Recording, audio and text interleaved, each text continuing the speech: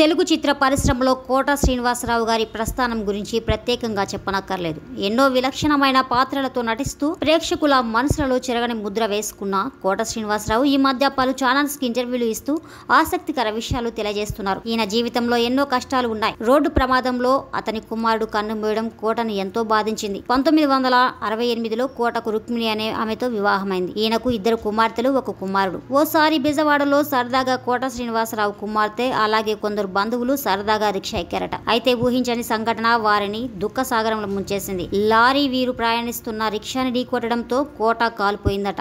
భవిష్యత్ ఏంటా అని కుటుంబ సభ్యులు ఆందోళన చెందుతున్న సమయంలో కోట పనిచేసిన బ్యాంకులో ఎవరి దగ్గర అయితే బ్యాంకులో గుమ్మస్తాగా ఉన్నదో వారింటికి ఆయన కూతురు కోడలుగా వెళ్ళింది. మంచి కుటుంబంలో ఆమె జీవితం కొనసాగిస్తూ వచ్చింది. ఇప్పుడు ఆమెకు కూతురు కూడా ఉందట. అందరూ సంతోషంగా ఉన్నారు అని ఇటీవల ఇంటర్వ్యూలో చెప్పుకొచ్చారు కోట. ఒకప్పుడు ఆయన గుమస్తాగా పనిచేసిన వ్యక్తి కోటకి వియంకుడుగా మారారు. కోట శ్రీనివాసరావు ఇప్పటికీ నటనలో తన టాలెంట్ చూపించేందుకు ఆసక్తి కనపరుస్తున్నాడు. అవకాశాలు ఇవ్వాలని అడుగుతున్నాడు. కొన్ని సినిమా ఆఫర్స్ ఆయనను పలకరిస్తూనే ఉన్నాయి. ఈ వీడియో మీకు నచ్చినట్లయితే లైక్ చేయండి షేర్ చేయండి కామెంట్ చేయండి. ఇటువంటి మరిన్ని వీడియోస్ కోసం మా ఈ ఛానల్ని సబ్స్క్రైబ్ చేయండి.